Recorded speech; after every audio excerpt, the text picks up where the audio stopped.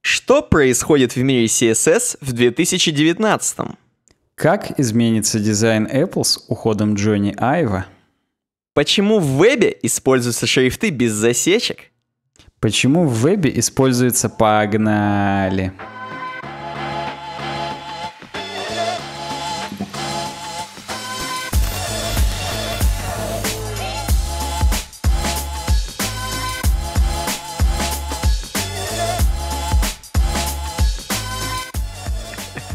Я решил укоротить. Мы с тобой на пришел продумали вариант, но я решил от него отойти и сделать другой. Мне показался он более хлестким. В общем, рада всех приветствовать на нашем подкасте. Называется он «Суровый веб». Это проект UWeb э, Design. Э, меня зовут Александр Гончаров. Меня зовут Никита Тарасов. И ты знаешь, у нас очень много вот этих вот регалий в начале всегда как бы это не, не звучало. не рыгали, понимаешь? Потому что там, короче, вот суровый веб, подкаст и веб-дизайн, я генерал, фельдмаршал, Александр Гончаров младший, старший, там вот это все. Ну, мы...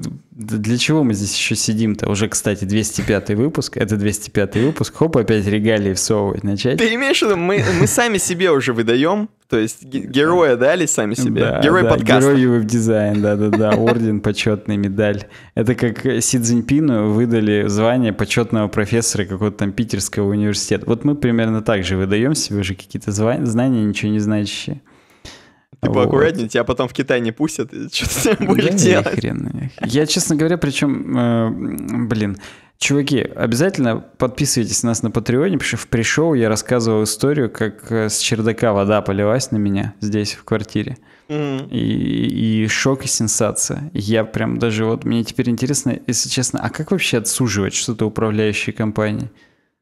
Ну, не знаю, но я надеюсь, у тебя там, где полилось, у тебя же там нет ремонта богатейшего? Есть, это же в спальне. То есть, как бы... А, блин, я думал, это где-нибудь в этом, в ванне, в толчке. в том-то и дело, это как бы в спальне.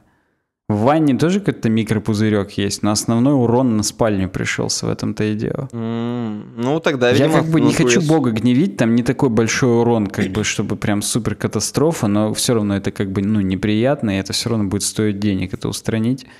Вот, поэтому, честно, я даже не знаю, как с этим быть, но ладно, не важно. Напишите в комментариях, опять же, кто устранял, кто судился с Жеком. Вот, да. Просто да, я на девятом этаже живу, и на, на чердаке уже водопровод. То есть не то, что меня там какая-нибудь баба Клава залила, нет, это ну, реально там что-то, или труба там протекла, или, я не знаю, крыша пробежала. Сегодня как бы, ну, дождь, в принципе, был. Я не знаю, ну, может, да. там...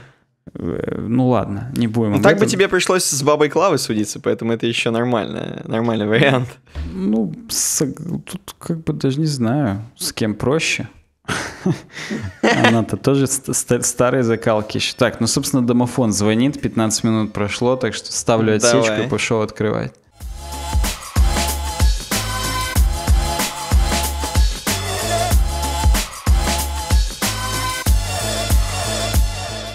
Давай скажем про то, что мы все всегда вас призываем, если вы хотите свой продукт как-то продвинуть через наш подкаст, написать нам на worksobaka.uwebdesign.ru. Э, в любом случае, мы все предложения рассматриваем, всем отвечаем. То есть, если вы напишите по какой-то интересной теме, мы обязательно ответим. И, может быть, вы попадете к нам в подкаст. А может быть, там будет такое интересное, что мы просто вот абсолютно бесплатно интегрируем про вас что-нибудь, расскажем, и будет круто. Поэтому на worksobaka.webdesign.ru пишите. Все ссылки есть в описании, как всегда, в принципе. Да, да, это сегодня, конечно, без какой-либо такой интересной заводочки, но у нас сегодня так много интересного было. У нас тут сплошные заводочки, да. Слушайте, слушайте, пришел обязательно, там, там огонь будет. Было, будет, было, не знаю. В общем, есть, там, там огонь. Э, конечно. Ну что, погнали, Первая тема, первая тема, она на Bloomberg, доткоме. Uh-huh. Эм, но вообще, может быть, многие это видели, что это на Wall Street Journal была статья. Э, просто это немного другая статья и под другим углом. Короче, technology здесь есть такой раздел у них, и это Inside Apple's Long Goodbye to Design Chief Джон Айв. Uh-huh. И Джонни Айв действительно ушел из Apple, и уходит он в свою компанию, которая, по-моему, называется что-то там From Heart, From Love, что-то такое. Я, если честно, даже не стал углубляться, но в какую-то свою компанию, в ИПшку, короче, открывает. И, видимо, с удовольствием, видимо, с удовольствием. И на Wall Street Journal на самом деле они любители поскандалить. И там они написали, что Apple из-за этого загибается. Тупо загибается, и все уходят, нормальные люди, и вообще все плохо, и, короче, Apple, Apple, Apple, отстой. Грусть. На Может, Bloomberg... не из-за этого, а просто, что это просто как бы она следствие того, что Apple загибается, уходят такие, ну понятно. Да, да, да, то есть, в принципе, это все одно от одного, а сейчас Джонни Айв, а еще э, э, э, и вообще плохо, короче. На Bloomberg немного под другим углом, причем под более прикольным, нормальным углом, здесь написано, да и в принципе, короче, я вот понял вообще настроение людей. То есть те, кто в принципе Apple хейтеры, они, естественно, так и будут говорить, что все плохо, неважно, кто там уходит или приходит. Поэтому это похрену. А те, кто, в принципе, чуть-чуть хотя бы разбирается в компании, любит какие-то продукты, они, конечно, так не скажут. Но и вот мы просто для тех, кто интересуется Apple, сейчас расскажем про уход Джонни Айва. Эм, кроме того, что он ушел в другую компанию, во-первых, он будет, э, Apple будет сотрудничать с этой компанией в том числе, и я так понимаю, он что-то все равно будет курировать, так или иначе, то есть он будет куда-то там вникать, подвниковывать, тем более, что он и так наизусть уже все знает, что в Apple происходит. То есть он идеальный кандидат для какого-то там аутсорсного дизайна от Apple. Так что на его ИПшку там будут счета крутиться, мутиться, нормально все у него будет. Эм, Это кроме да, этого, да. да, кроме этого, кроме этого. Здесь много ностальгии по Джонни Айву, что он работал, что он работает там 25, что ли, лет в Apple, или 20 или 25 лет в Apple. И, короче, он еще, естественно, со Стивом Джобсом в свои годы там жарко спорил, ходил по аллеям там э, в Силиконовой долине, и реально там, короче, до свидос там, что было, и такое придумывали, и такое воротили, короче, и он сделал такие девайсы, как задизайнил, как iPhone, и, короче, вообще охренеть, iPod, если вы вдруг любители айподов, там, и в том числе iPad, и в 2015 году он сделал м, часы, Э, то есть задизайнил часы, и вот после 2015 года э, с Джонни Айвом стало на спад все сходить вообще с его присутствием в Apple и медийно, он как бы перестал его лицо везде мелькать. Э, это просто означало то, что на самом деле после того, как он сделал часы, его подняли по должности, по карьерной лестнице, и он mm-hmm. стал более крутым челиком, то есть э, уже, казалось бы, круда круче, да? Но так он вникал очень сильно э, вот в эту продуктовую разработку, прям вот супер вникал. А его чуть выше подняли, и он как бы стал таким более операционным чуваком, таким, ну, типа, который отвечал больше за бумаги, короче. И, соответственно, он, видимо, затух.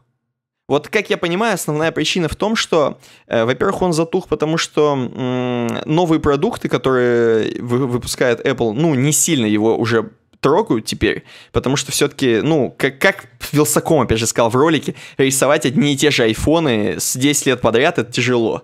Это тупо неинтересно, как минимум.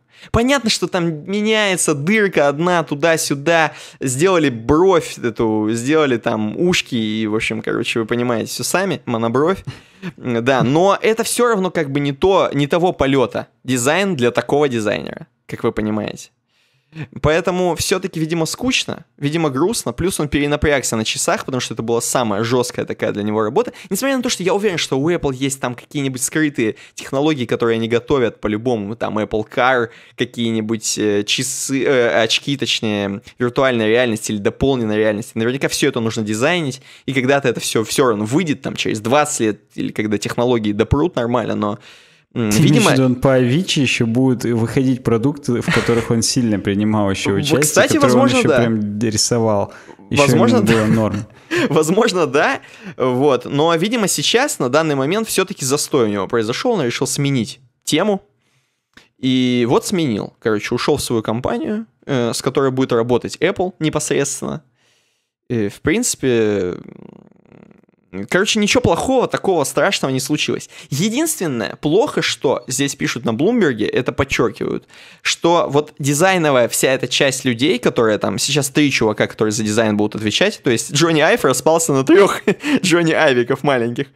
Э, вот, э, эти три чувака, э, короче, и над ними еще один чувак, который, которого как бы Джонни Айв, ну, точнее, он замещает Джонни Айва, он более такой операционный, как здесь написано, чувак, и, к сожалению, к сожалению, в Apple все меньше и меньше, даже Bloomberg говорят это, что, к сожалению, все меньше и меньше в Apple, да и мы сами видим, дают э, зазор к именно инновациям. То есть, короче, все э, направлено на то, чтобы все-таки стабильный доход, рост, развитие, э, короче, бабло.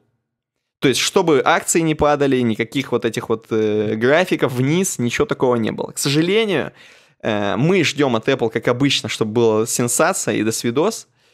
Эм, а они вот ставят людей и делают такие посты, где чуваки конкретно, э, ну так вот вяло э, просто делают рост небольшой. Сергей Рост. И вот Джонни Айв был, может быть, одним из тех, кто что-то придумал, действительно прикольное, и мы действительно когда-то плевались от его новой iOS дизайна, я помню. А потом в какой-то момент он, ну, полностью с нами как бы проник в нас этот дизайн, и мы как бы супер смирились, не то что смирились, а кайфанули, и как бы сейчас живем все с этим дизайном iOS-ным. Да, короче, в принципе, он сделал э, многие девайсы, которые мало кто мог бы так вот придумать реально ту же самую монобровь, которую потом все скопировали, опять же, если говорить вилсакомовским языком, все китайцы скопировали эту монобровь, и сначала все плевались и говорили, ну фу, как это на телефоне, ну а потом все сделали такие телефоны, да и, ну в принципе, сначала все такие, да как мини-джек убрать, ну все убрали мини-джек, потом, ну короче, вы понимаете сами, то есть... Э, Подожди, это... а реально все убрали? Кто-то, вот да. это кто-то повторил или нет? Да все, все это, все повторяют полностью за новой моделью, то есть вот что бы ни выходило, две камеры, везде две камеры, то-то. То есть, ну, как бы... Две камеры согласен, про мини-джек не видал, но... Ну, мини-джек, вот мини на всех новых андроидах... Я не смирился. Нет, на всех новых андроидах э, везде уже Type-C. Как бы, ну, факт. Подожди, а наушники как, через Type-C втыкают? Да, ну да. Ну, в смысле, как в э, айфоне. Да, но в айфоне есть вот эти переходнички и, и гарнитуры, а тут-то как они договорились? Реально где-то можешь сейчас пойти купить гарнитуру, которая наушники в Type-C втыкаются? Ну, наверняка да, но я думаю, что сейчас в основном Или все сейчас уже... просто на Bluetooth Все блютузные наушники, да, конечно, тем более ну, у понятно. китайцев до хрена блютузных наушников, поэтому это как бы сейчас, я думаю, вообще никто уже ничего не втыкает в этот порт, кроме зарядки, как бы. Ну, mm. понятно, понятно. Поэтому... У меня Короче, есть несколько комментариев. Ну, давай. давай, ты закончи. Да, я просто хочу, опять же, хотел, да. я с тобой мостик сделаю, потому что я помню, что мы с тобой про Джонни Айва, в принципе, и разговаривали, и думали, и э, у нас были какие-то мысли, и сейчас хочется это немножко воскресить, вспомнить, что было. Вот ты, может быть, напомнишь вообще, что как Джонни Айв, что сделал, что говорил. И вот эти, я помню, ролики наверняка все видели с ним, где он смотрел в одну точку, в Я бок. пустоту смотрел и влево. говорил, да, что мы сделали великое и пошли дальше, короче. ну вот такая история. Ну, Давай. Смотри, во-первых, а, я попробую в формате Блица откомментировать это. Во-первых, на Блумберге тоже сделали подписку. И тоже там сколько-то 10 статей бесплатно только можно смотреть. Так, бойкотируем. Я не понимаю, какого хрена. Да здесь даже не в бойкоте дело, а, а ну на самом деле это выглядит так же противно, как на медиуме. Здесь снизу большая полоска сверху, которую никак не скрыть. Вот, сбоку сайдбар с рекламой какой-то зафиксирован. Вот. И только в середине маленький контент такой, как писька скроллится просто и все. Вот. Это, это, это бесит, конечно. Я не очень понимаю вообще, какого хрена вот этот формат подписки на интернет-издание вообще существует. Ну, то угу. есть я понимаю, что, в общем, вся сфера уходит в подписку, но как- как- как-то это крипово, не знаю, или кринжово, опять же. Да и так, и так, я считаю. Вот, да, да. Что касается Айвача, ну да, естественно, он вместе со Стивычем еще начинал и iPod, и, соответственно, iPhone, и iPad, то есть он, это все его руками сделано в какой-то степени, но именно бомбой был вот этот iMac, который пузатый, который пузатый цветной у которой ну, кстати, именно да, не надо забывать, пяти, что... В пяти цветах, который именно был. Вот. И вот с этого началось его, так сказать, взлет как продуктового дизайнера. Угу. Вот. И хотя, опять же, если посмотреть именно на раннее творчество, то как раз вот это iMac там и так далее, они очень сильно с Пола Ренда из Дитера, Пол Ренд, я правильно помню дизайнер, и Дитер угу. Рамса, все слито. То есть там видно прям, он что вдохновлялся, он вдохновлялся, да. да. Сейчас как бы реально он уже, ну, Mac Pro вот эта терка, тут видно, что он уже особо не вдохновлялся, что он реально что-то там это... Что он немножко употреблял, употреблял, да, чтобы терку придумать надо. Вот, то есть уже видно, что как-то есть свой почерк у человека. Ну и смотри, это же на самом деле напрямую это жизнь. Все акционеры Apple стареют, им уже хочется чего-то стабильного, они уже не хотят там, ну, завоевывать какие-то инновации, что-то. Им уже хочется, чтобы э, содержание их островов в Тихом океане, которые они приобрели, э, не было под угрозой, так скажем. И как бы да. То есть я думаю, это с этим связано. То есть я просто знаю лично людей, которые занимались всю жизнь арендным бизнесом, и под конец жизни просто продали, соответственно, здание, просто, ну, там, за миллионы, за дикие. Uh-huh. Просто потому, что уже похрен. Уже как бы много лет, уже вот лучше вот они бабки тут, а так они все время как бы в росте, там куда-то что-то вкладывать, там строить, покупать, опять же, в аренду сдавать. Это, это уже движки какие-то, которые уже не нужны. Я думаю, что, к сожалению, акционеры Apple давят, давят на руководство – и ну вот да. все вот эти, э, ну, как бы желания просто по бенчмаркам выпускать новые телефоны, которые тупо там, ну, больше там жрут, там больше, ну, в смысле не жрут, а больше наоборот выдают, меньше жрут, больше выдают какой-то полезный Больше жрут, работы. меньше срут, так сказать. Вот, да-да-да-да-да. То есть, чтобы именно просто стабильный был рост, чтобы стабильно просто все люди каждый раз покупали новую трубку, и не было такого, что какой-то шок-сенсация, и есть какой-то микрошанс, что люди там с айфонов на андроиды пересели. Угу. Вот им это уже не надо, они пытаются это минимизировать. А Джонни Айв, я так понимаю, он даже к своим, там, сколько ему интересно лет, а, сохранил какую-то пассионарность и желание что-то творить. Вообще творческие люди не такие, они как бы, ну, скорее ну, да, всего, он-то здесь последнего... уже не для бабла сидит, а как, как, как раз наоборот, для того, чтобы конечно, кайфовать. Конечно. Поэтому... Я уверен, что он-то как бы его уже все устраивает, я думаю, и финансово как бы и вообще. Может быть, ему и немного надо для жизни, я не знаю, там нету как бы, ну, хотя, может, где-то и можно, опять же, найти, на какой он там машине ездит и все такое, но я думаю, что уже вот эти все базовые потребности потребности стопудово удовлетворены. Ну, скорее и, как всего, бы, да. И, и да, да. Я просто сейчас вот опять смотрю именно на оригинальный iPod, который 2002 года. Вот. Когда еще кнопочки меню, play и влево-вправо, они были не на колесе, а вот вокруг именно хардварными кнопками, да, да, потому да, что да, потом-то да. они, ну, они как бы, и когда они поставили в колесе, они тоже были хардварными но они уже хотя бы в само колесо, так сказать, были встроены. И, блин, насколько же это гениальный девайс был. Я до сих пор очень сильно кайфую от iPod с колесом, да, потому что согласен. вот это тактильное ощущение, когда ты его крутишь, и он тебя отщелкивает чуть-чуть в пальчик назад, блин, это прикольно. Это вот да это и вот просто он какой-то классный, было. я не знаю. Да, он просто... Может вот... быть, это просто с нашей молодостью, опять же, связано. Мы тогда еще по, молод... по молодухе кайфовали от этого, хотели там это купить. Я там, помню, ездил по радиорынкам где-то по бэушнее, подешевле купить. Там мне сестра из Америки такой привезла там и так далее это, блин, это, это прям эпоха целая. Может быть, просто это как бы, ну, некий момент ностальгии, но мне хочется верить, что уже тогда это, этот девайс реально был из космоса. Ну, ничего подобного просто не было. И, и тогда даже китайцы особо это не копировали. Либо потому что не могли, либо потому что это как бы было какое-то фрик-устройство, не очень массовое, которое как бы... Хотя с iPod вся массовость и началась, но тем не менее. Вот. Даже сейчас вот этот Haptic Engine, который тебе кнопочка отпинывается, да, обратно. Uh-huh, uh-huh. А, вот, это, вот тогда уже был, был вот этот вот эффект, что ты крутишь колесо, она щелкает и тебе обратно в пальчик отдает чуть-чуть. Хотя, может быть, про то, что она отдает, я, может быть, сейчас уже придумал. Может быть, она просто щелкала. Мне почему-то кажется, что отдает. Я сейчас, ну, не это не, ну, короче говоря, блин, это, это грустно просто так чисто по-человечески, что Айвыч уходит. И я думаю, что...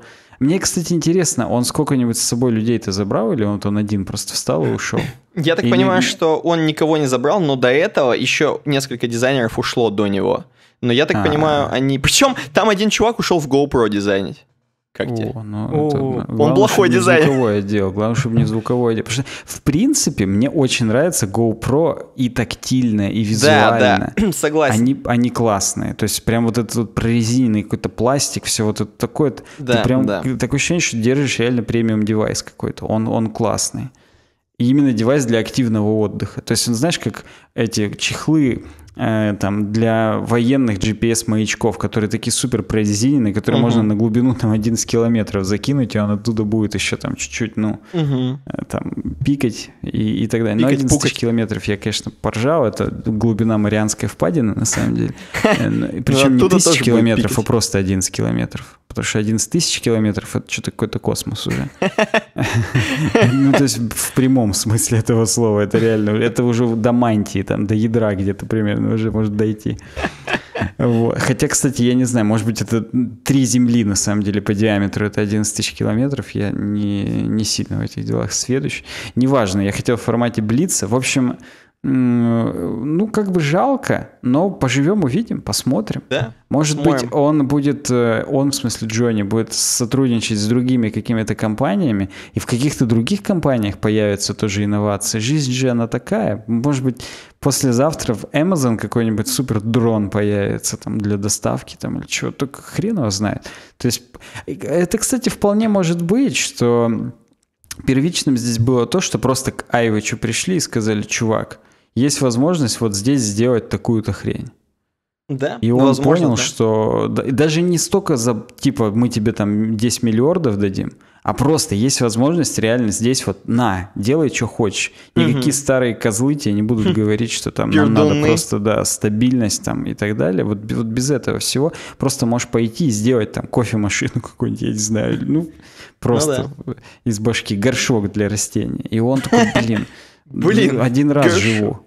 Да какие эти монобровь рисовать 15 раз? Пойду горшки делать. Ну, Ну да, да. Не, ну согласен, потому что это реально, ну, дизайн э, айфона, это как бы все-таки такая штука уже, она как... Она уже это машина, уже все, она уже, сама ты, да, делает ты уже, не, ты уже не можешь даже вот кнопку передвинуть влево или вправо, тебе уже руку отрубят, Там просто нет ноги уже отстрелят. поэтому Да, да, нечего уже двигать.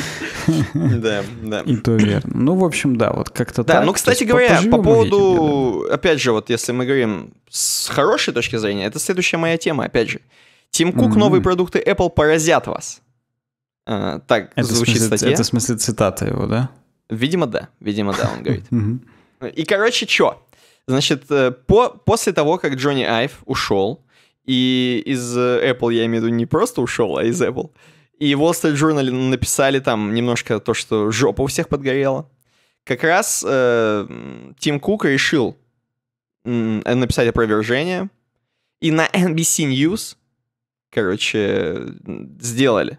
Сделали, А, написали, собственно, что... Wall Street Journal, у них, еще раз повторись, э, суть была в том, что ему не дают раскрыться или, или Не, что? у у Wall Street Journal, по-моему, было, что просто Apple, к сожалению, загибается. А, понятно, понял. Что в смысле, это Всё просто плохо. предвещение того, что до свидос. Я просто помню, акции упали у Apple, когда он э, объявил об уходе. Ну, это логично, в принципе, наверное, было бы.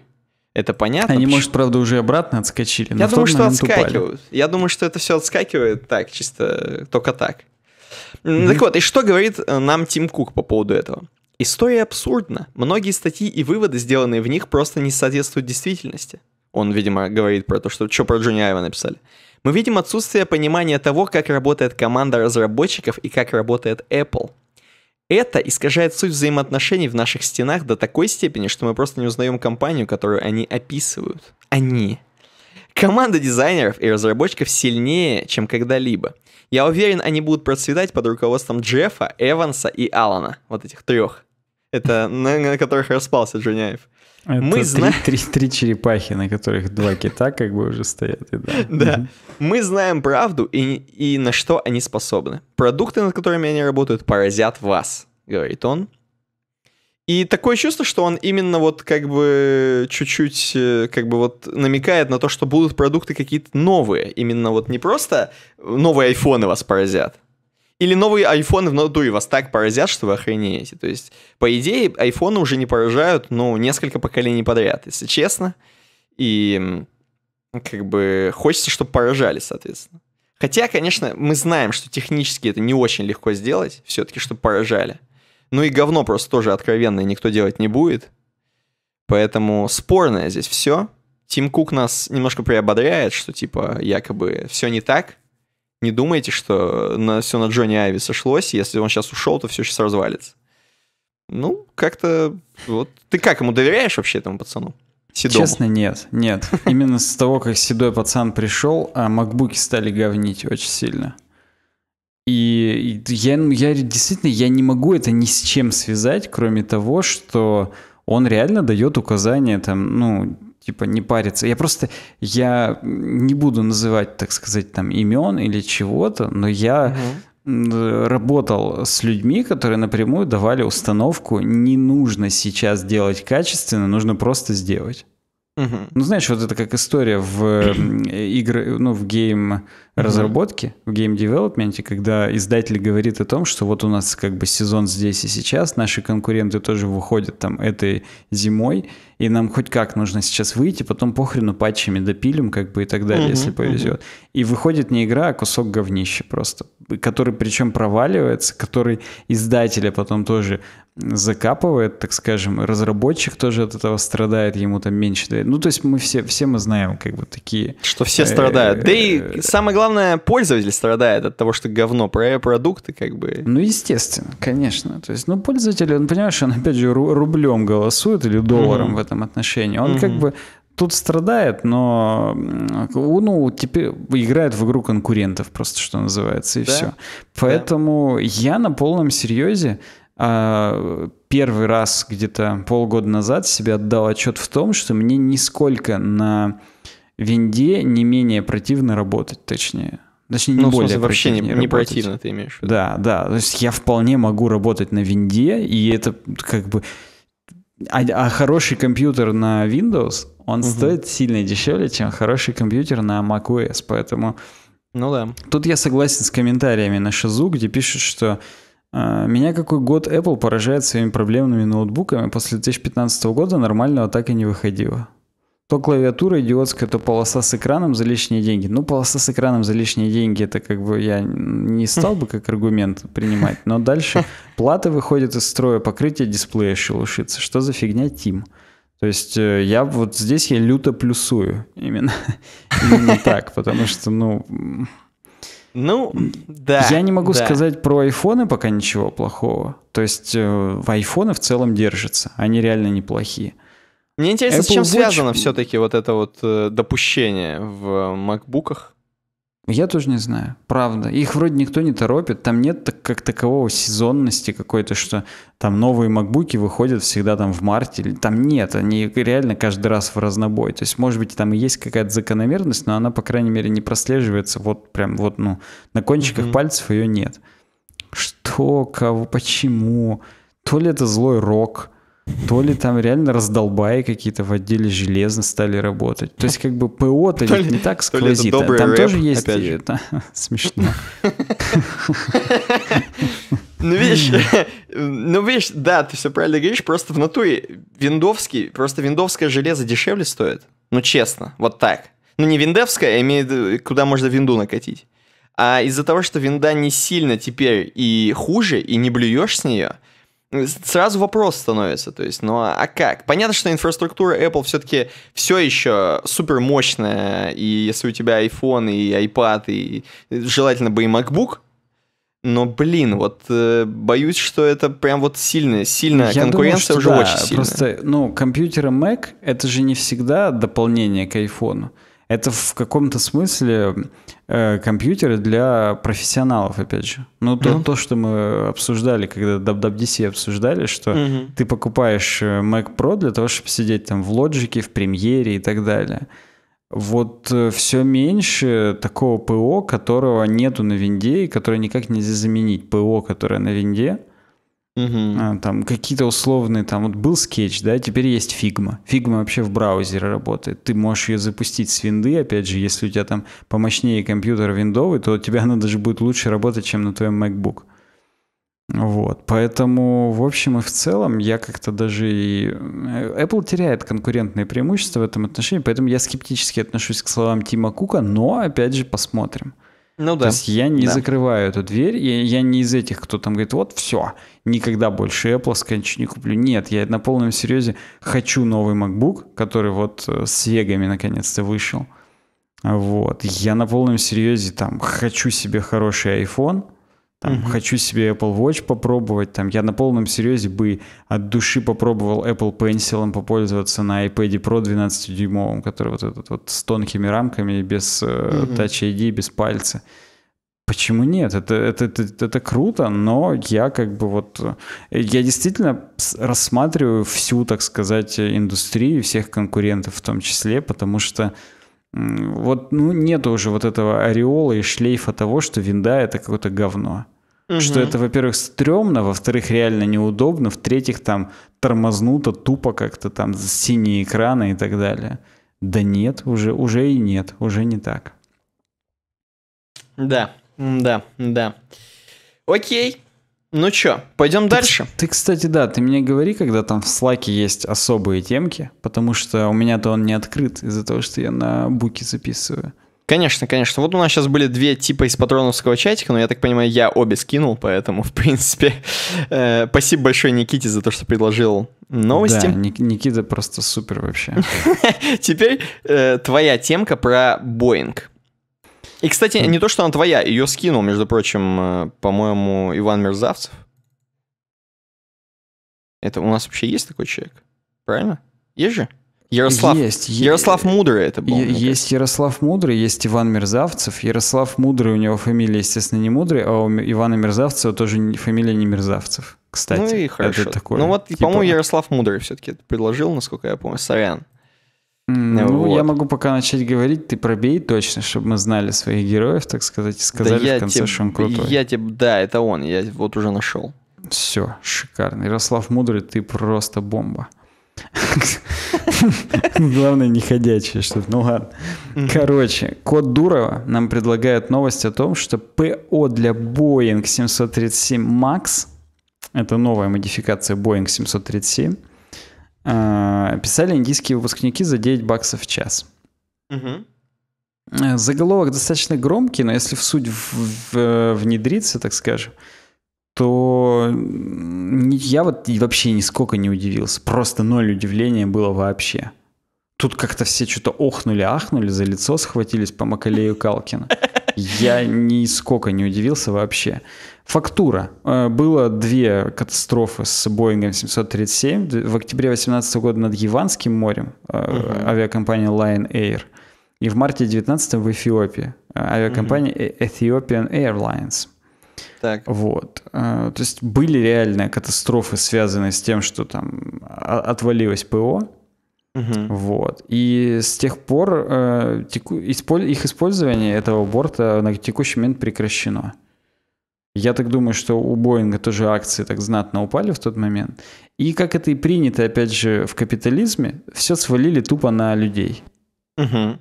То есть, на, ну, в смысле, именно на исполнителей. Не то, что там директор Боинг говно, потому что, опять же, он там заставлял эту модификацию выпустить там именно в 2018 году, потому что Airbus там тоже свою какую-то там А232 хотел в этот момент выпустить и так далее. То есть, нет, ни в коем случае. Виноваты, конечно же, разработчики, которые писали ПО. Вот. Ну и в самом деле есть как бы такой факт о том, что они, Boeing аутсорсила разработку, индийской компании HCL Technologies Ltd. Их, конечно же, заставила эта компания к ним аутсорснуть все и принять это решение, и еще и платить им 9 долларов в час. Они сами сказали, блин, платите нам мало, и давайте мы вам сделаем говно. То есть этого можно было ожидать, наверное, когда ты аутсорсишь компанию, э, разработку в индийскую какую-то компанию. Ты можешь пойти и проверить, кто у них там работает, как они это работают. В конце концов, ты же не идиот, это твой бизнес. Ну, то есть, как вы понимаете, я клоню к тому, что я виню руководство Боинг, в этом никого больше. Потому что как Ну бы, да. все, все, так скажем, волевые решения по вы- вы- вы- выбору подрядчика, по, в принципе, потому что ты аутсорсишь, а не пишешь там своими силами, это как-то, наверное, до этого как-то справлялись вот инженеры, программисты Boeing. Оно, наверное, видимо, их сократили и аутсорснули все индусам. Ну, охренеть теперь. И, и виноваты индусы. Нет, они, конечно, может быть, и виноваты, но причинно-следственные связи, я думаю, здесь проследуются как бы так себе. Вот. Ну, М, короче Просто видишь, э, ну. то есть, ну, типа, это можно сразу увидеть, что хала- халатность присутствует не только в России, понимаешь? То есть, у нас бы тоже такое так написали, все бы такие, ой, там написали, там код опять хреновый. Вот у них тоже, видишь, такое бывает спокойно. И даже такая великая компания, как Boeing, у которой я не знаю, что уже должно быть, и то как бы промашки.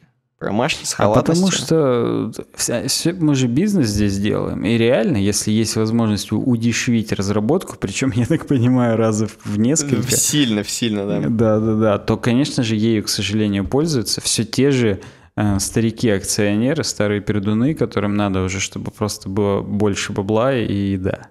Это, кстати, сейчас в основном сарказм. Я думаю, что молодым акционерам тоже нужно больше бабла. Возможно, даже еще больше, чем старым. Поэтому... Ну, в принципе, я был готов, чтобы кидать абсолютно сегодня все камни в стариков, которым нужно больше бабла. Но ты вот снова на молодых переключился. Я споткнулся, да. Я просто знаю молодых, которым нужно много бабла. И поэтому понимаем, да. Э, кстати, ну, продолжим фактурку. Бывший сотрудник HCL, это компания-разработчик, сообщил, что испытания самолета Boeing 737 MAX тоже проводились в сотрудничестве с его индийскими коллегами, однако количество испытаний было недостаточным для ввода самолета в эксплуатацию. Видимо, во-первых, поэтому он и бывший сотрудник после этих заявлений. Mm-hmm. Ну да. А, во-вторых, э, ну опять же, наверняка HCL не, не позвонили в Boeing и сказали, ребят, слушайте, два раза вылетели, вроде нормально, давайте все уже. Зачем? Зачем нам эти платные испытания с нашими сотрудниками? Забейте, пое, полетели, все. Что там, где в Эфиопии? Погнали. Над вот Ливанским да. морем, да, пф, да пролетит стопудово. А мы же еще не потестировали. Да и нормально, что вы. Короче, ну, come on, это смешно. Сейчас Boeing занимается корректировкой ПО самолета. Я так понимаю, силами все той же индийской компании HCL Technologies. Так а больше никто в этом коде не понимает ничего, понимаешь? Я согласен. Там те-то люди, скорее всего, через неделю, если проснутся, уже даже не поймут, какого хрена. Вот, но да, и, соответственно... Ага, ну, хорошая тема, интересная. Мне нравится, что... Мне нравится, что Э, это, в принципе, у нас такое возникает, такие темы. Но, к сожалению, жаль, что это все, ну, не так смешно, а действительно прям жизни людей зависит от этого. И, блин, короче, понаберут по объявлению, как обычно, а потом, опять же, пользователи страдают, причем конкретно. Причем в данном случае, да, пользователи пострадали в последний раз, да, потому что... Да, натуре. Опять же, не смешно, но, но да. Но так. Кстати, 23 июня стало известно, что 400 пилотов подали коллективный иск против Boeing и беспрецедентное сокрытие недостатков конструкции лайнера. Тут по Чернобылю уже. А пилоты именно подали, что из лжи построен самолет, короче говоря, как выяснилось. Как вот реактор в Чернобыле был из лжи построен, как вдруг выяснилось в сериале. Также вот здесь, соответственно, лайнер из лжи. Ну, понятно. смешно, смешно. Понятно, понятно. Как ты понял, я именно поэтому эту темку и включил. Чтобы Возможно... Вот эти все э, референсы сделать. Возможно, снимут сериал про именно про индусов. Хотя Силиконовая долина уже есть сериал, так что там, в принципе, да. Вот, да. Можете посмотреть. Да.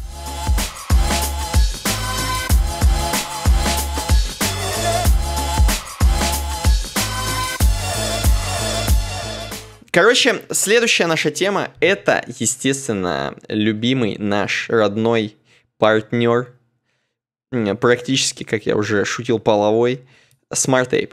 evobdesign.ru slash smartape. Там вы можете зарегистрироваться на хостинг, доступный и крутой, московский, и самое главное, с крутой поддержкой, и с э, вообще, блин, короче, как всегда, самым лучшим, что вообще есть, потому что даже если он был чуть-чуть похуже, мы бы его ни в жизни не, э, не называли каждый раз в подкасте. А тут он просто вот самый. Best of the best, как говорят на английском в пятом классе, когда начинаешь еще учить его. Вот best of the best. Короче... Причем учителя, учителя говорят. Учителя, да, говорят. Э, поэтому uobdesign.ru slash smarttape. Все не зря, каждый раз повторяем. Если до кого-то не дошло, чуваки, просто пройдите, зарегайтесь, попробуйте. И вот э, все само за себя скажет. Вообще, вот прям давайте поспорим. Вот вы берете бесплатные 10 дней, и если вам не нравится, то мы вернем вам деньги. Это бесплатные 10 дней, поэтому как поэтому бы... бесплатные мы, мы, принципе, вам 10 мы, дней. Мы, мы готовы, да, вам вернуть эти бесплатные деньги назад. Но вы, главное, попробуйте просто и посмотрите. Потому Да. что, в принципе, здесь можно настолько все кастомно сделать, просто любые VPS себе арендовать, там тарифы очень гибкие, скидки очень большие, если оплачивать хотя бы на полгода вперед, то есть там сразу можно 30% сэкономить, поэтому, чуваки, это, я считаю, достойно того, чтобы вы просто пошли и попробовали. 10 дней. Чего вам эти 10 дней? Это бесплатно. Вы только запустите свои руки в SmartApe и уже не сможете их оттуда высунуть никогда. Да, да. Хорошо, Ссылки пойдем, все в описании, да. пойдем к State of CSS 2019. Да, да, темка, которая у нас канула в лету вместе с э, прошлым подкастом, который не вышел, потому что мы его потеряли. Я не помню, мы в самом здесь подкасте это говорили или только в пришоу мы об этом говорили. В общем, да, был, был на самом деле мертворожденный другой 205-й подкаст, Мгм. но он был утерян в процессе записи и восстановлению никак не подлежал. Там мы обсуждали непосредственно вот этот вот State of CSS 2019, это по аналогии со State of JS. А, Это было большой опрос, который проходили разработчики из разных стран, из разных уголков мира, так скажем. Мгм. Вот. И касался он э, непосредственно того вообще, кто какие технологии в CSS знает, кто как долго работает, кто сколько зарабатывает по дудю. Да-да-да. То есть э, срез такой, в принципе, Что скажет Путин? информации по... Да. Что CSS-разработчики скажут Путину. Вот. И это такой срез информации по... Ну, так или иначе, наверное, только фронтендеры проходили. Ну, то есть потому что там основ, один из основных вопросов были, как вы оцениваете типа свой уровень фронтендовых знаний. А вот там типа сеньор, там middle, junior, по- по-моему, так там это звучало, я сейчас не буду точно э, врать, но вот как-то так. Ну и как бы здесь бы- было несколько интересных фактов, которые мы здесь сейчас в моменте обсуждения непосредственно этой темки тоже вспомним. А, собственно, Сабж, если угодно, о том, что вот этот Сача Гриф или Грайф, я хрен его знает по-немецки это или по-английски читать, или Грейв, может быть. Причем Грейв. Тьфу-тьфу-тьфу. Ни хрена. Так вот, э, он э, написал на CSS Tricks э, небольшую, так скажем, комментарий по поводу всего этого опроса и сказал, что три предсказания из э, State of CSS 2019. То есть он сам проанализировал те данные, которые получились, и вот он предрекает, куда дальше будет двигаться CSS. Вот такого плана предсказания. В смысле, что Ну, вот он это посмотрел, и теперь он вангует, что дальше То будет. есть он кофейную гущу CSS-ную такую. Да, Забодяжа? да, да. Такую прям э, карты, карты раскинул Таро, CSSO. Ну, интересно. Жалкая шутка сейчас была, но почему-то я даже улыбнулся. Просто, по-моему, мы в прошлом мертворожденном подкасте рофлили про Сачу Грифа, что он Донча и Виша еще Гриф. Да, Или да, нет? да, Хотя, да, может да. быть, да, это в да, мы, спра- мы спрашивали. Я не помню, у меня тоже уже все смешалось. У меня, в принципе, вся наша жизнь это уже подкаст. И люди Как игра. подкастеры. Да, Да, да. да, да. Короче, э, переходите здесь в этом, в этой прям статье есть первая же ссылка 2019.stateofcss.com. Посмотрите там, кто, кто что как.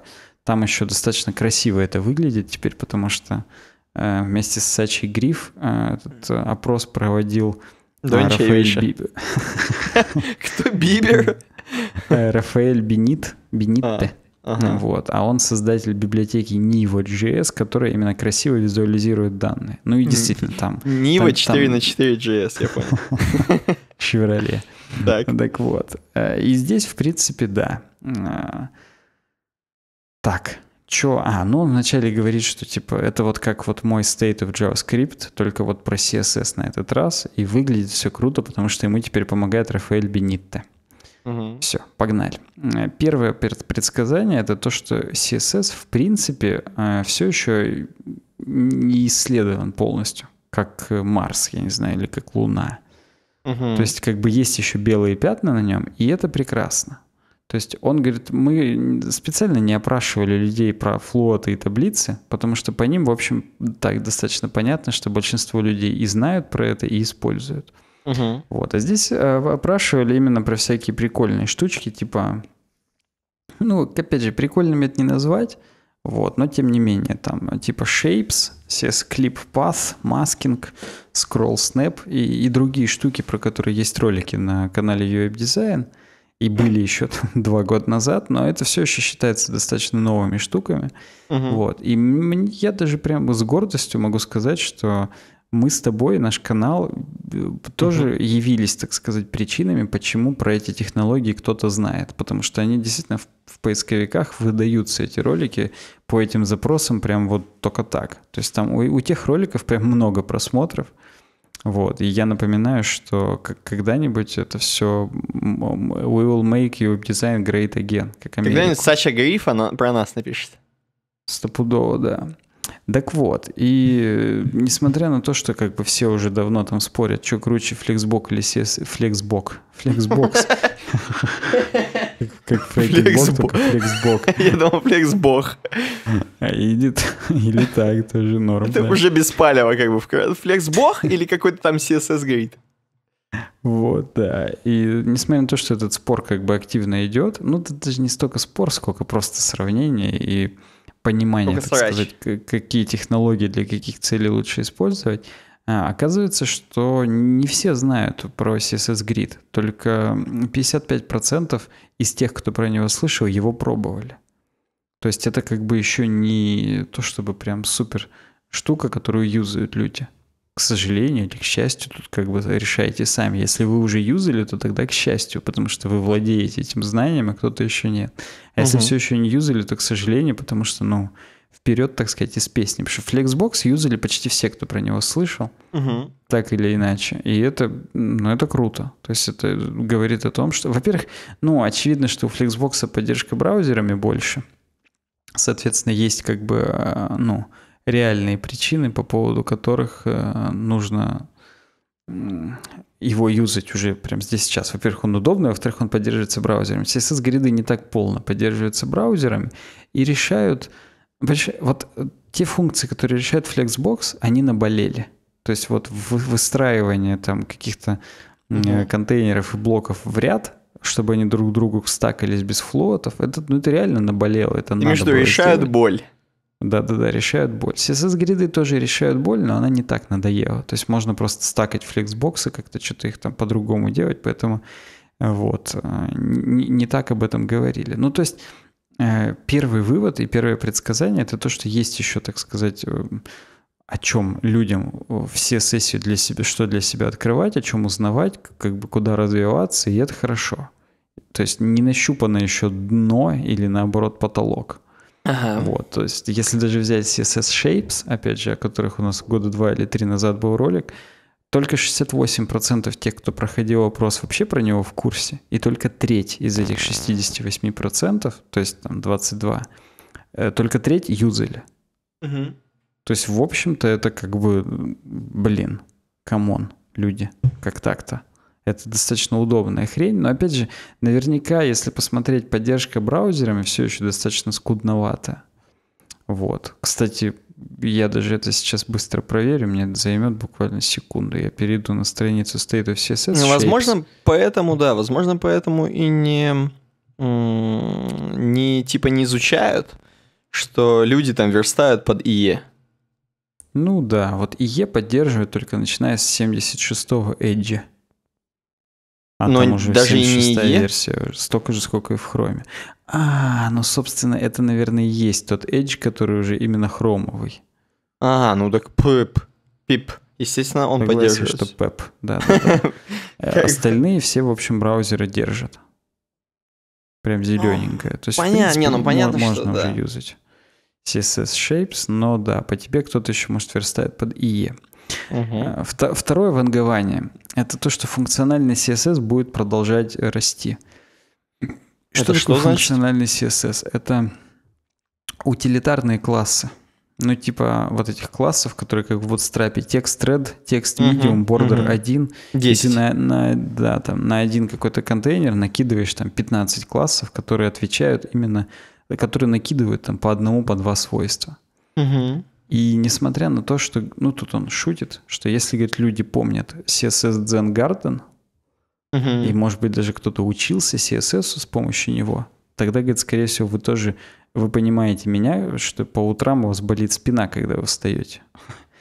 Вот, то есть как бы что, ну, это действительно давно было, как бы, и, и да. А там суть, суть CSS Garden, CSS Zen Garden была в том, что э, именно есть у тебя разметка uh-huh. с тегами и с какими-то классами, и ты тупо меняя CSS, абсолютно меняешь вообще, как выглядит сайт. И там реально у них был, ну, была целая галерея, как люди меняя только CSS, кардинально меняли сайт просто. Вот, ну, это никто бы никогда не подумал, что ой, здесь одинаковая разметка, одинаковый HTML этих сайтов. Потому что там люди изгалялись как только могли. Там в форме кружочков. Там, ну, это, это, это просто uh-huh. не описать словами. Я, я-то просто из старой гвардии, я помню, когда еще CSS Zen Garden реально существовал, и активно это все было. Ну, погоди, вот. а это все-таки хорошо или плохо так делать? Э, когда у тебя каждый классик за, отвечает там за одно свойство. Ну вот смотри, мнения разделились, причем именно по поводу вот этого предсказания у всех жопу оторвало. То есть э, люди, uh-huh. которые читают CSS Tricks, они приверженцы той теории, что это плохо. А почему что... плохо? Ну, это плохо, потому типа что... забудешь, и много, тебе... много классов, и бесит. Это пофигу. Даже если представить, что ты не забываешь, тебе для того, чтобы сменить э, Э, верстку, тебе надо лезть не только в CSS, тебе надо еще в HTML какие-то классы удалять и новые приписывать. То есть ты не можешь ограничиться редактированием только CSS для непосредственно э, стилизации. Ты используешь HTML не как семантику, а как э, стилизование. И это типа полный отстой. Угу. Ну, типа, потому что если ты не удалишь старые классы, то будет, типа, наложение ну, дерьма. Ну, ну да, да, да, да. Ты просто не сможешь вообще стилизовать, потому что в этих фреймворках типа Bootstrap и так далее, которые полностью построены на принципах функционального CSS или Semantic UI, э, или там Foundation – Угу. Там, там все из этих классов состоит, и там непосредственно фишка в том, что ты, ты только в HTML накидываешь и подключаешь Bootstrap. И максимум угу. ты э, из CSS что пишешь, это какую-то свою там темку. Ну, в смысле, там ну, цвета ну, переделываешь да, и все. Просто, да, красоту вокруг Bootstrap. Вот, вот, вот, да-да-да-да-да. А, и типа это, ну, с точки зрения читателей CSS Tricks и классических именно супер задротов по CSS, это плохо. Что надо, по идее, просто внутри CSS править, что у какого-нибудь контейнера с классом там э, news article, угу. у, у него там просто теперь отступ там не 20 пикселей, а 10. А если ты это делаешь на функциональном CSS, то ты идешь, стираешь класс padding 20 и ставишь класс padding 10, и все. И CSS не меняешь, потому что в CSS у тебя все эти штуки валяются. Ну и, кстати, здесь же, соответственно, Э, из старых плюсов подхода, точнее минусов функциональный CSS-подход, ты с собой таскаешь гигантский CSS-файл, котором все эти классы описаны, и частично, может быть, они уже и не юзаются нигде, uh-huh, uh-huh. но ты как бы всю библиотеку с собой таскаешь, ты юзаешь там в проекте только padding 20 и padding 10 классы, uh-huh. но на самом деле у тебя в сурсах еще лежат и Миллион 5, еще и другого 15, дерьма. и padding 30, там, ну и так далее и тому подобное. Вот, то есть, да, но... Ну, ты как менее... считаешь, что круто э, из этого? Блин, слушай, оно по-разному. Ну, то есть я, к сожалению, э, раньше был супер приверженцем именно, что, ну, надо делать не функциональный CSS, а именно семантические классы, чтобы было удобно, понятно и так далее. И, в uh-huh. принципе, если бы сейчас меня вот посади и скажи, что надо запилить что-то для души под Johnny Айо, uh-huh. то я не буду функциональный CSS использовать, мне не нравится. Вот. Но в коммерческой разработке я все больше работаю, да и, мне кажется, всегда работал именно с вот этими вот фреймворками uh-huh. и так далее. Просто, во-первых, в угоду скорости. Во-вторых, если мы говорим про single page application, там ты все равно все время шаблон редактируешь, то есть HTML. Накидываешь на него какие-то JavaScript штуки и так далее. Тебе ничего не стоит взять и класс там тоже поменять как раз именно CSS ты уже все меньше и меньше занимаешься, потому что тебе важно не красоту сделать, а функциональность. Uh-huh. Потому что коммерческая разработка это в основном какие-то дашборды, какие-то там админки, какие-то там конструкторы и так далее. В общем, абсолютно насрать, как они выглядят. То uh-huh. есть это, это не дизайнерская разработка, это все-таки функциональная разработка, а функциональной разработки функциональный CSS. То есть я считаю здесь именно в эту сторону и нужно рассуждать. Если ты делаешь функциональную какую-то работу, то есть, опять же, там, дашборд, какой-то график, там, я не знаю, админку или что-то еще, то ты используешь функциональность CSS, потому что в сущности тебе насрать, как это выглядит, и ты не так часто это будешь стилизовать и перестилизовывать и так далее и тому подобное. А если это какой-то творческий проект, если это какой-то бложик красивый, сайтик там и так далее, что-то еще, то здесь, конечно, лучше один раз сделать семантическую разметку, потом в шаблон уже не лазить, и только CSS классово стилизовать и так далее. То есть ты будешь именно в контексте дизайна все время находиться, потому что ты Э, ты именно стилизацией занимаешься, ты в шаблон реально уже не будешь залазить. Ты один раз его запрограммировал, чтобы он тебе простыню постов выводил, или mm-hmm. там формы какие-то, или что-то еще. И дальше ты уже занимаешься тем, что ты это украшаешь. Красявками. Да-да-да. То есть тут нужно именно исходить из э, задачи. И в зависимости от нее, вот я, я бы здесь огульно, опять же, под одну гребенку не греб всех, что там нигде нельзя юзать функциональный CSS, или наоборот, везде его надо юзать. Это действительно зависит от каких-то факторов. В том числе, например, я для себя всегда такой подход делал. Я юзал э, Bootstrap именно тот, который подключается как э, SAS-миксины и как SAS-функция. И, соответственно, ты не носишь с собой весь Bootstrap, он у тебя в сурсах лежит, но угу. когда ты компилируешь конечный CSS, ты делаешь так, что у тебя условный твой div э, там, с классом newsArticle, он расширяется, то есть он, ты туда подключаешь как миксин э, padding 10, там, я не знаю, еще какой-нибудь там текст thread или там текст medium, и ты их именно правила из этих классов, ты их вписываешь внутрь news артикла, и по факту ты как бы э, по-прежнему не меняешь э, разметку HTML, но ты юзаешь при этом Bootstrap. И у тебя в CSS сорсах ты четко видишь, что у тебя этот news article, ты его как-то стилизуешь, но базово ты на него накидываешь 3-4 функциональных класса, которые ты с собой не таскаешь, которые только на уровне препроцессора у тебя вкомпилируются в этот файл. И таким образом ты с собой не таскаешь весь Bootstrap, Угу. Ты не правишь HTML, не дописываешь туда никакие классы, но при этом ты их используешь для вот таких вот типовых вещей. То есть это, это очень удобно. Я про это как раз э, ролики тоже про SAS, когда снимал, я там об этом говорил, когда рассказывал про placeholder и про так называемые тихие классы, которые не через точечку, а через процентик пишутся в SAS. Это угу. как раз когда ты имеешь вот такую библиотеку этих классов, которые ты в файле не таскаешь, а которые ты именно просто подключаешь в, в нужные классы. И это, это круто.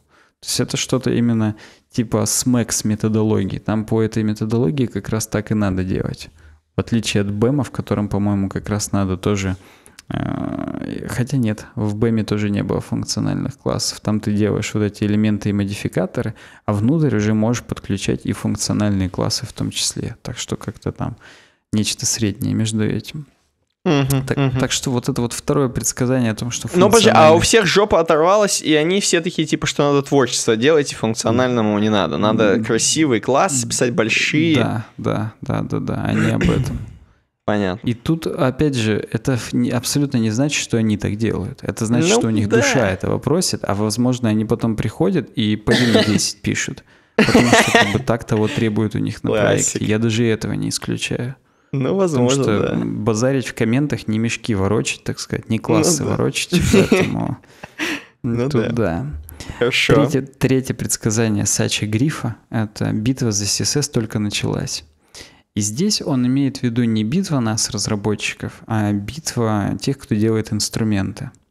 Угу. Ну, то есть... Вот тулзовая здесь, битва. Да, тулзовая битва. Если посмотреть здесь м, график тулзов, где по оси Y или по оси ординат отложено uh, satisfaction percentage от нуля до сотни, как угу. удовлетворены. А по оси abscis или по оси X user count, то есть количество юзеров, которые юзают эту тулзу, то мы видим, что в основном, в основном, почти все инструменты сейчас находятся в второй, это вторая, по-моему, плоскость называется. Там, то есть угу. на, на, считается от правой верхней и против часовой стрелки. Вот во второй плоскости находятся почти все инструменты. Э, то есть э, ими все удовлетворены, но их мало юзают. И это говорит нам о том, что битва за то, Э, какие инструменты окажутся в первой плоскости, еще идет. Потому что первая плоскость это и много юзают, и сильно довольны. Ну, на самом деле, SAS и BEM уже там.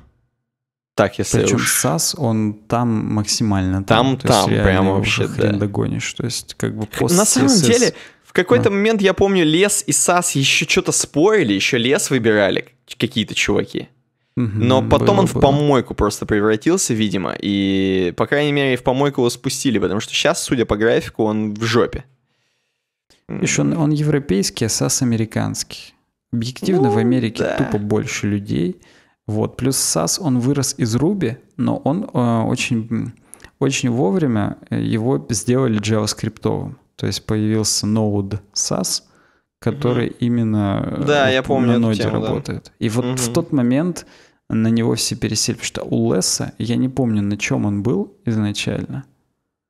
Вот. М. А может быть, он, кстати, и сразу на Он сразу я был не там. Я- я но знаю точно, САС бомбанул именно, когда был. они стали. Когда они стали. САС именно... Они не были, не были, и потом они стали, да. Вот, ну и плюс он, он реально, блин, он крутой. То есть его не переставали разрабатывать, в него постоянно докидывали какие-то фичи. Ну и я, я слушаю, я это в том числе связываю и с тем, что э, с ним по конференциям ездил. SAS-конф была целая конференция, не знаю, сейчас она есть или нет, но каждый год ее проводили там в какой-то... То есть они пиарили это все. То есть это, это, ну, это, не- это не, не с хрена. Но Кроме в итоге того, что это реально же- крутой продукт, его еще и продвигали. Ну, Ты же в итоге все равно пишешь типа SCSS, ты же SAS не пишешь, правильно? Чистейший, pure. А насрать, чистейший SAS никто и не пишет, просто SCSS это все равно SAS. Нет, а вдруг э, кто-то пишет? Вдруг есть чуваки, которые внутри нас? Ну, Ну, хотя... начи- начиная с третьей версии, по-моему, когда ввели SCSS, процентов 90 стало его и писать. Ну, просто потому что SCSS, он да. обратно совместим с обычным CSS. И ты можешь Мгм. просто обычный CSS скопировать и скомпилировать как SCSS, и это будет валидно. Поэтому его все юзают. Это просто стандарт де-факто. Вот эти все... Может быть, кстати, за счет этого, просто я не знаю, как лес, может быть, за счет этого, за счет SCSS как раз SAS очень удобный и всем понятный и Ну, классный. лес, лес он тоже, он именно... Это стайлус, вот он так и остался, вот эти с индентацией, как Python. Мгм. Вот, и неудобный. А лес, он тоже сразу был удобным, просто он как-то... Постоянно с ним какие-то были проблемы, и там не, не сразу фичи появлялись, всякие именно для скриптинга, типа, знаешь, э, форов, там, циклов, ветвлений внутри CSS. Вот это в Мгм. SAS появилось первым. И именно из-за этого на SAS написали много э, всяких тулзов крутых. Вот Мгм. Bootstrap тоже с леса на SAS перешел в какой-то момент. На третьей версии, если я не ошибаюсь. Потому что тупо стало удобнее именно на SAS вот такие делать э, глубокие штуки, типа, опять же, там всяких циклов, переборов, функций и так далее. То есть глубокий скриптинг внутри CSS стал возможен с SAS, поэтому на него все перешли. То есть, опять же, э, разработчики SAS, они не только для конечных юзеров сделали удобно, они еще сделали удобно для бизнесменов, что называется Мгм. для других разработчиков, которые на... Как Стив Джобс. Он не просто дал хорошее устройство, он еще дал App Store, в котором люди могли делать ПО и тоже зарабатывать, и все вместе продвинули iOS там, куда, где она есть сейчас. Вот то же самое с SAS. Он был удобен для тех, кто делает фреймворки, всякие библиотеки и так далее, поэтому на нем их стали делать, и для многих людей сейчас когда говоришь препроцессор, только SAS имеется в виду, то есть про другие даже уже никто и не знает. Ну, не никто, а как многие уже и не знают. Так что вот да. Мгм. Так Окей. вот, собственно, третье предсказание о том, что... Появятся Вот такие же САСы, ты имеешь в только в Не, своих в об- областях. ну, то есть в области препро... Да, да, в своих областях. То есть в области препроцессоров все уже, возможно, решено, а вот в области других каких-то новых штук, типа там CSS JS, как, например, Мгм. реализовать, по-прежнему все они вот э, спорят. Или там по поводу просто вот этих функциональных фреймворков типа Bootstrap. Но Bootstrap понятно, как бы его уже все юзают и все знают. Вот. Но, тем не менее, есть как бы у него конкуренты, и именно в этой нише, я думаю, еще нарисуется 1-2 каких-то прям фаворита, Видишь, которые при будут том, чуть-чуть что- по-другому работать, чем Bootstrap. Да, его при том, что все юзают, судя по графику, типа, он все равно не очень всех удовлетворяет. Ну, И- блин, он скучный, понимаешь? Он как бы вроде удовлетворяет, но это настолько обыденно как-то и... Но удовлетворением вот это не. Тоже... Смешно. Хотя САС тоже, по идее, обыденный, но что-то удовлетворяет, поэтому тут, конечно... Возможно, да, возможно, фреймворк как раз будет более гениальный. А может, Bootstrap просто гениальнее доделают, и он взлетит потом. Тоже может быть, да. Хотя они, в общем, и так там накал гениальности особо не, не сбавляют, поэтому посмотрим, посмотрим. Что, двигаемся дальше? Здесь, Давай. здесь не о чем больше говорить, просто да. что CSS живет и, и круто. Вот Ж, но жизнь это не называть, я понял, да. Ну, хотя Следующая нет, тема. Нет, здесь, здесь Тут как раз назвать. И, и дверца научилась не впускать в дом кота с добычей. То есть э, дверца с искусственным интеллектом, которую придумал инженер из Amazon Бен Хэм, эм, действительно не пускает его кота какое-то время. Как только его кот пытается пронести добычу, то построенная инженером из Amazon дверка выпаливает с помощью камеры и с помощью искусственного интеллекта, который он обучил, что кот идет с добычей. Соответственно, дверца закрывается, и 15 минут еще ждет, чтобы кот, видимо, подумал над своим э, поведением.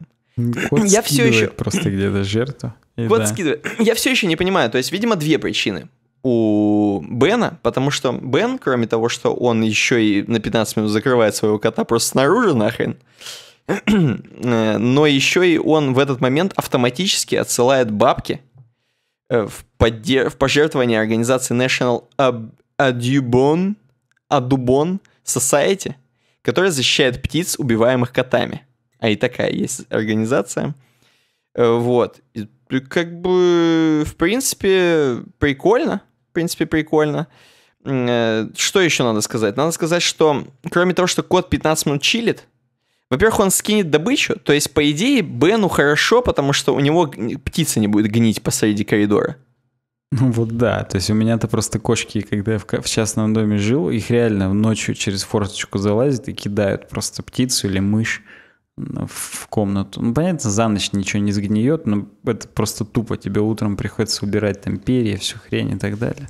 Да, во-первых, это, а во-вторых, э, ну, видимо, он пытается так еще и научить кота. Я не знаю, хотя вряд ли, конечно, он пытается научить кота, просто кота не научить. Я думаю, что все-таки э, эволюционно кот никогда не поймет, что ему надо прекратить э, приносить жертв он будет думать, что, ну, ладно, закрыто, окей, но я все-таки добываю еду, и я крутой. Не, не, конечно, не поймет, это бесполезно. Мне, кстати, кажется, на первой картинке там плюшевая мышка. Да, да, это типа показывается просто, видимо, тестово, что если хоть что-то принес, то выпаливает.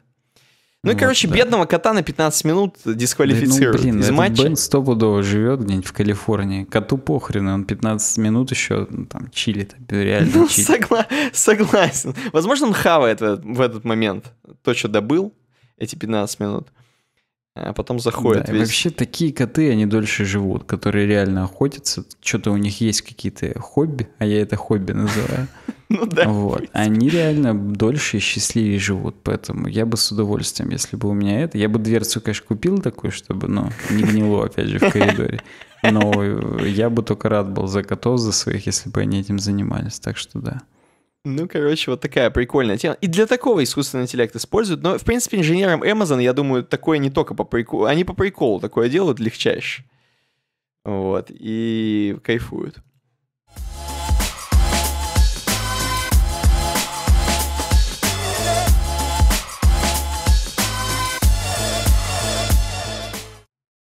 Окей, э, такая тема есть. Пойдем дальше у нас следующая тема — это, естественно, рассказ про нашу поддержку. В смысле, про то, как вы нас поддерживаете на Патреоне. Я бы даже сказал про поддержку наших трусов. Да, что, что они поддерживаются, у нас не слетают, мы кушаем хотя бы, играем чуть-чуть. Угу. Эм, потому что вы реально на, на patreon.com slash webdesign хотя бы какую-то сумму в месяц заносите. Это круто, и мы как бы не остаемся в долгу, мы записываем пресс-шоу для вас. Оно доступно для любого патрона, который любую минимальную сумму или максимальную заносит. Вот. В этом мы же да... пришел, я, кстати, сегодня рассказал о том, что я наконец-то упаковал все физические гулис. Да, да. О то том, есть... что у нас закончились веб-дизайновые стикеры. Да, то есть в долгу, да. в долгу мы не остаемся в любом случае, и там есть свои фишечки, почитайте обязательно. Зайдите, patreon.com slash Может быть, вам что-то понравится, какая-нибудь э, сумма вас устроит, и мы будем супер рады и благодарны вам, если вы да, нас поддержите. Потому что нас-то любая сумма устроит, в отличие от вас. Вас какая-то, а вот нас любая. Нас любая, да. Поэтому скорее, скорее бегите к нам в наши лапы на patreon.com slash Мы там даже на 15 минут не закрываем дверцу. Не-не, у нас там с любой добычей можно, мы пускаем с любыми. Вот да. Следующая тема. Икея выпустила бесплатный диванный шрифт Sofa Sans. На самом деле я посмотрел на этот шрифт, какой-то рыфло-шрифт, если честно, но главный прикол в том, что оказывается, это был такой некий мем. И на сайте Икея можно было с помощью специального конструктора создавать себе такие э, диваны, которые стоили бы по 15 тысяч баксов. То есть можно было реально их состакать в одну огромную такую диванную залу. И такой просто в натуре Sims получался некий которые стоили просто бешеных бабок, и это выглядело еще как-то очень смешно. Это стало типа мемом, и Икея не стала это, знаешь, как-то пропускать мимо ушей, сделали это прикольно, как рофл, выпустили отдельный шрифт реально, который типа как диванчики выглядит. Но буквы диванчики, вы понимаете. Его можно бесплатно абсолютно скачать. Естественно, как вы понимаете, там нет кириллицы, там есть только мефодица полная. Там есть вот только латиница, соответственно.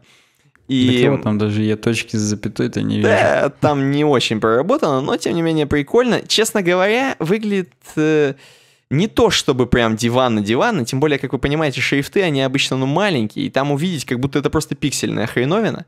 Угу, угу. Ну, как бы ради хайпа, в принципе, да, Sofa Sans... They did it for the lulz. Вот да, for lulz вообще абсолютно. Я не знаю, как мастер шрифтовые бы это оценили. Эм, какие-нибудь там великие чуваки, которые сделали, не знаю, Эриалы какие-нибудь. Вот, поржали бы, наверное. Но вот так вот могут себя пропиарить, почему нет?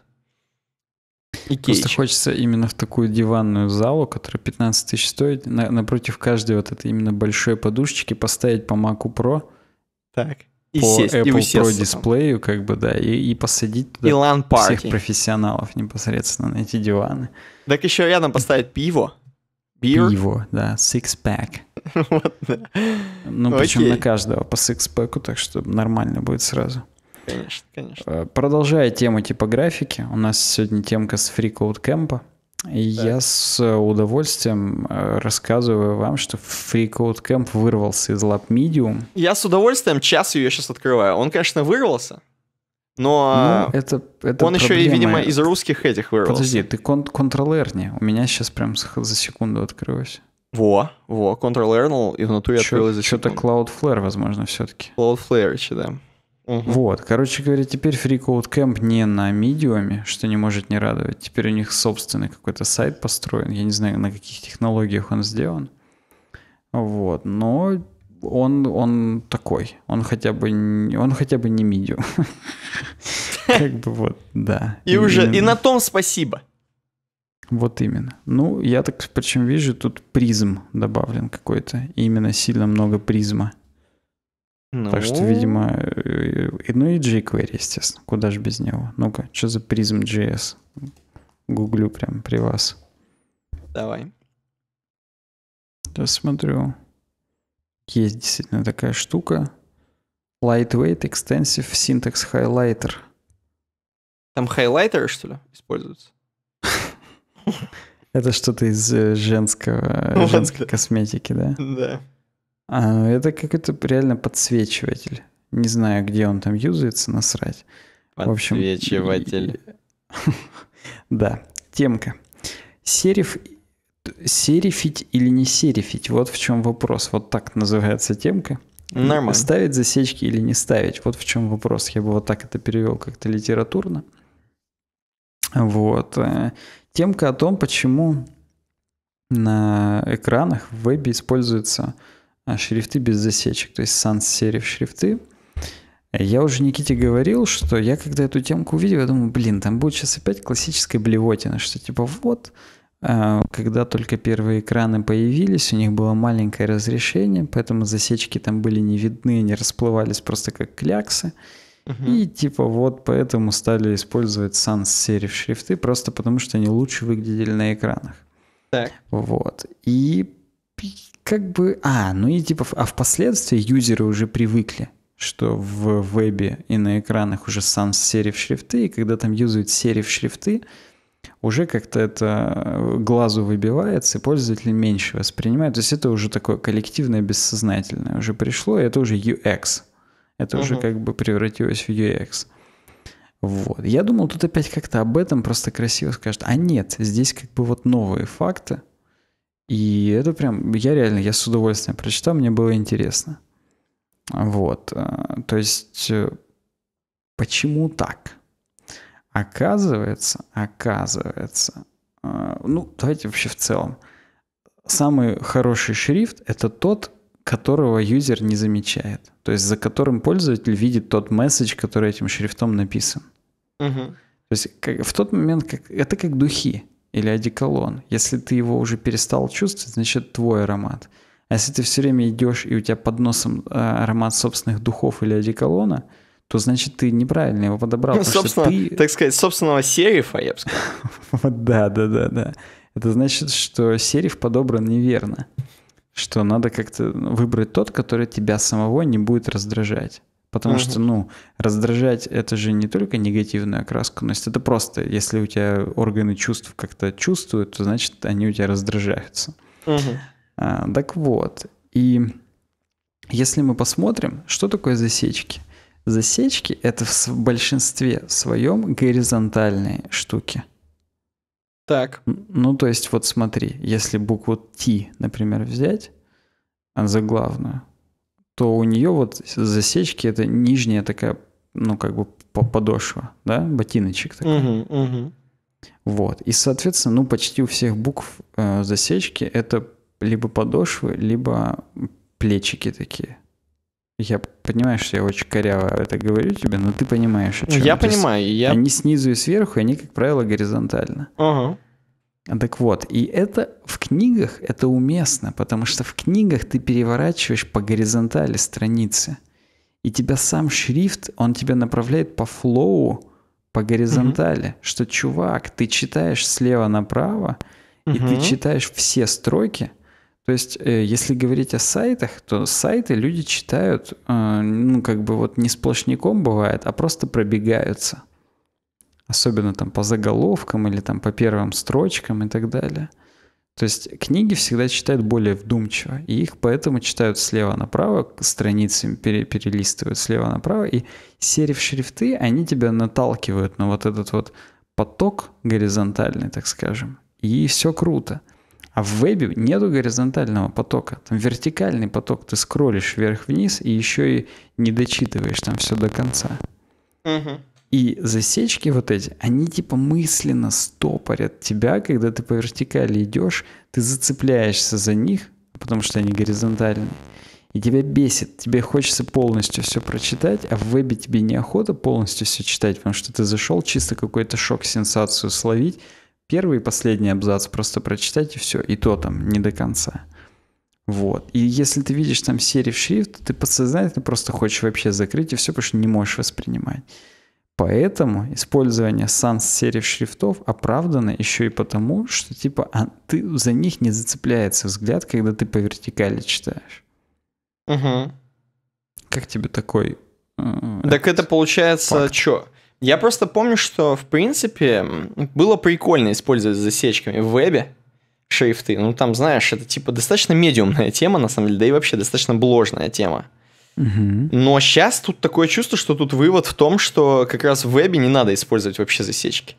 Ну да, здесь вывод такой, что если для широкого зрителя ты что-то делаешь, то не нужно использовать засечки, потому что засечки будут ему мешать проглядывать все статьи, и он просто уйдет с твоего сайта вообще и ничего не будет смотреть.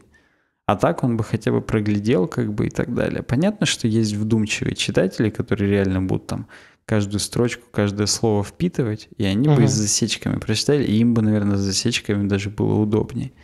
Вот, но просто именно с точки зрения UX мне понравилось вообще вот это все рассуждение про флоу, про поток чтения, что в книгах поток чтения горизонтальный, а в интернете поток чтения вертикальный. И от этого тоже зависит выбор шрифта. Мне просто вот это понравилось. Вот. Ну и как доказательство здесь автор приводит и другие, так скажем, а, проявления потока, что ты когда вот смотришь на стоп-кадры из каких-либо динамичных сцен, где вроде нет движения, то есть это стоп-кадр, но угу. ты все равно видишь движение. По мему вот этому новому, что я слышу картинку. Да-да-да. Вот тут ты видишь движение. То есть вот здесь скриншот из тачки, из фильма «Тачки», мультфильма пиксаровского. И тут из-за того, что буковки размыты, из-за этого у тебя есть ощущение движения. Uh-huh, ну и, соответственно, uh-huh. то же самое с э, Sans серифом. По вертикали там размывается, как бы, и, и ничего не прерывает в виде засечек. Вот. И круто.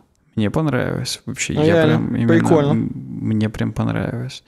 Free Code Camp, конечно, бы над дизайном поработать, это он тут как у нас прям сайт.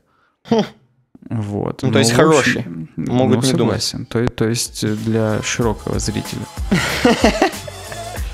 Да, интересно.